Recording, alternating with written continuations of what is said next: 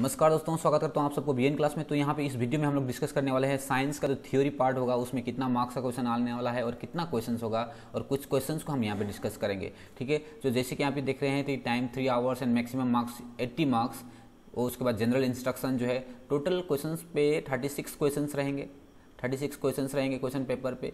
उसके बाद question number one से लेके क्वेश्चन नंबर ट्वेंटी तक जो है, आपका क्या रह गया? एम सी क्यू क्वेश्चन रहेगा वन मार्क्स क्वेश्चन ठीक है? और 21 से लेकर 26 तक टू मार्क्स क्वेश्चन रहेंगे।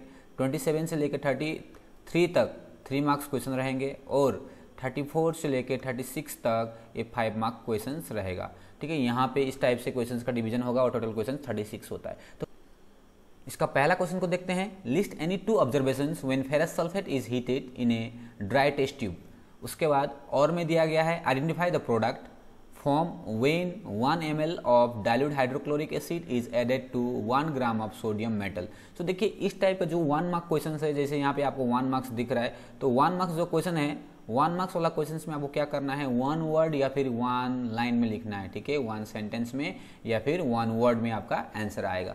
तो इस टाइप के क्वेश्चन को आपको बहुत लंबा नहीं करना है। कैसे लिखेंगे इसका आंसर यहाँ पे मैं दिखाता हूँ।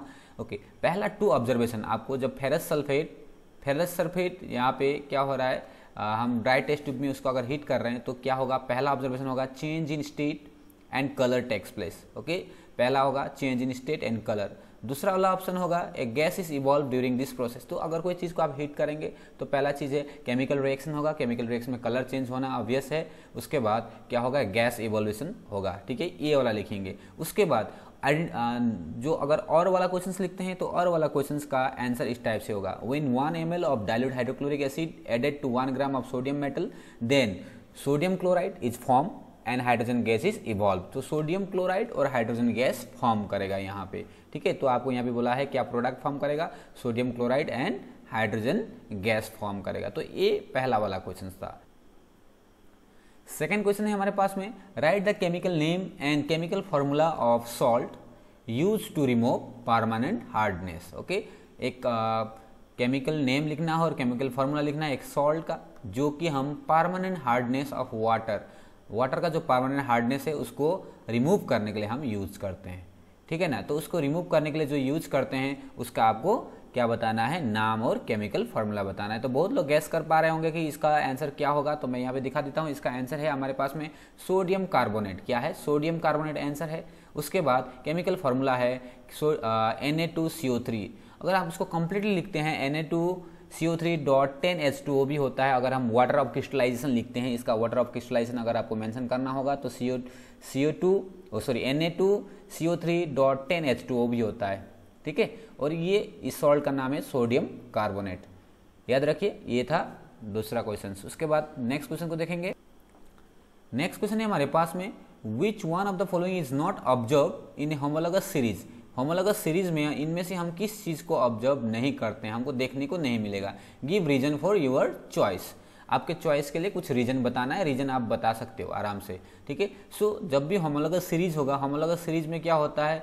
ये जो देखिए, यहाँ से हम स्टार्ट करते हैं। C H two C H two का गैपिंग होता है और फोर्टीन यू मोलिकुलर मास का गैपिंग होता है। एक मेंबर के बाद दूसरा मेंबर अगर मान लीजिए यहाँ पे सी एच थ्री है सी एच थ्री है तो इसका दूसरा मेंबर क्या हो जाएगा? इसका दूसरा मेंबर हो जाएगा सी टू एच फाइव क्या हो जाएगा? सी टू एच फाइव आ जाएगा इसका दूसरा मेंबर सो so, थोड़ा सा स्लो हो रहा है लिखना सी टू एच फाइव तो अब अब बताइए दोनों में कितना अंतर हो जा रहा है? ये दोनों में अंतर आपका कितना हो जा रहा है?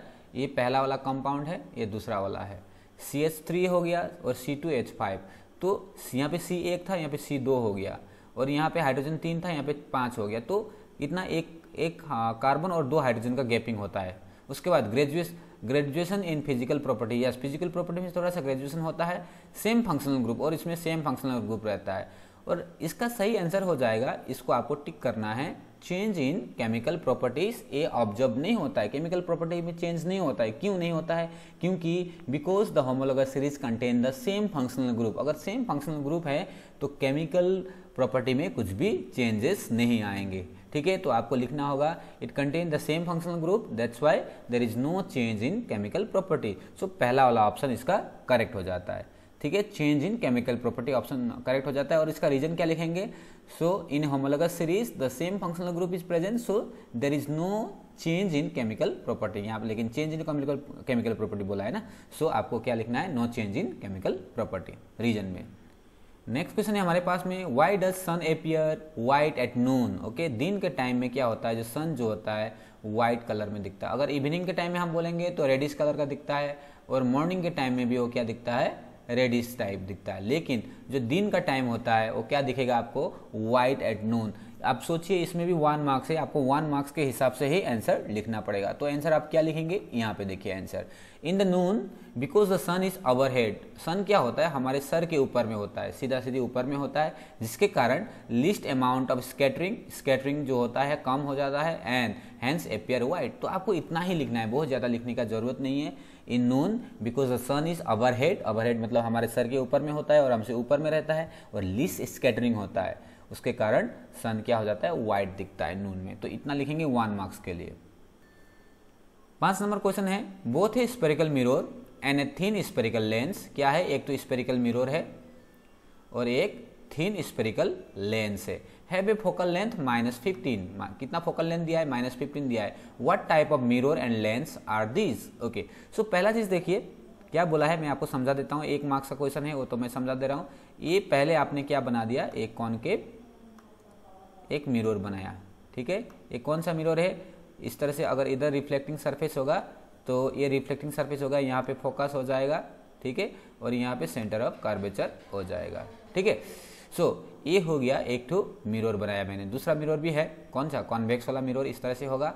और दूसरा क्या है? लेंस अगर हम बनाता हूँ तो एक कॉन्केव हो जाएगा, एक कॉन्केव और दूसरा कॉन्वेक्स में बनाऊँगा। कन्वेक्स बना दे रहा हूँ यहाँ पे। सो ये हो गया कन्वेक्स ठीक है? सो आपको यहाँ पे देखना है कि जो मिरर है मिरर का भी फोकल लेंथ माइनस फिफ्टीन है और लेंस का भी फोकल लेंथ कितना है? माइनस फिफ्टीन है। अब देखिए, जिसका फोकल लेंथ लेफ़्ट साइड में होता है, ये जो मिरर जो है, ये पहला वाला मिरर जो है, इसका फोकल लेंथ किधर है? लेफ़्ट साइड में है। ये दूसरा वाला जो मिरर है, इसका फोकल लेंथ किधर है? राइट साइड में है, ठीक है?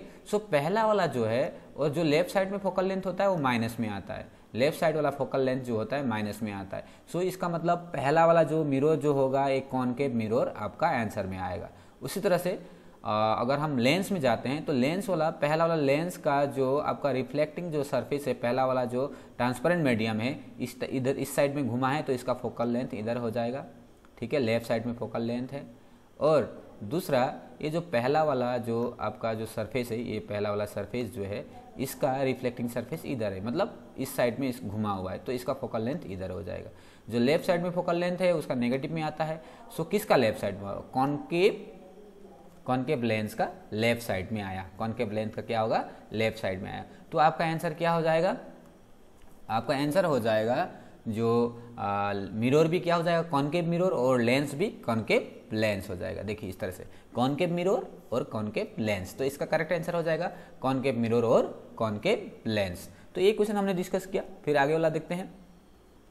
नेक्स्ट क्वेश्चन है हमारे पास में the image form by a concave mirror is observe to be real inverted and larger than the object where is the object place तो एक मार्क्स का क्वेश्चन है, आपको डायरेक्टली आंसर आपको पता होगा तो डायरेक्टली लिखिए। Name the part of lens through which ray of light passes without suffering any deviation तो आपको एक पार्ट का नाम बताना है लेंस का, जहाँ से और अगर रे ऑफ़ लाइट पास होता है तो कुछ भी डिविएशन नहीं करता है। तो पहला वाला हम आंसर बताते हैं। पहला वाला जो होगा, आपका पहला वाला आंसर के लिए क्या होगा?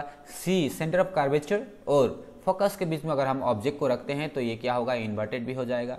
लार्जर देन ऑब्जेक्ट भी हो जाएगा उसका, ठीक है? उसके बाद दूसरा वाला का आंसर क्या हो जाएगा? Name the part of lens through which ray of light is passes so ये क्या हो जाएगा? ए सी से सेंटर ऑफ़ कर्वेचर से पास होता है तो ऐसा होता है। तो इसका आंसर हम लोग इस तरह से लिखेंगे। In between C and F. पहला वाला आंसर हो गया in between C F, C and F, और दूसरा वाला आंसर हो जाएगा सेंटर ऑफ़ कर्वेचर। तो सेंटर ऑफ़ कर्वेचर से अगर कोई पार होके जाता है, रे ऑफ़ लाइट तो विदाउट एनी डिविएशन वो वापस चला जाता है। ठीक है? तो ये था। कुछ मैंने पहला वन मार्क्स का कुछ सिक्स क्वेश्चन यहाँ पे डिस्कस किया। फिर अगले वाला पार्ट में मैं डिस्कस करूँगा। अभी के लिए इतना ही। Thank you for watching God bless you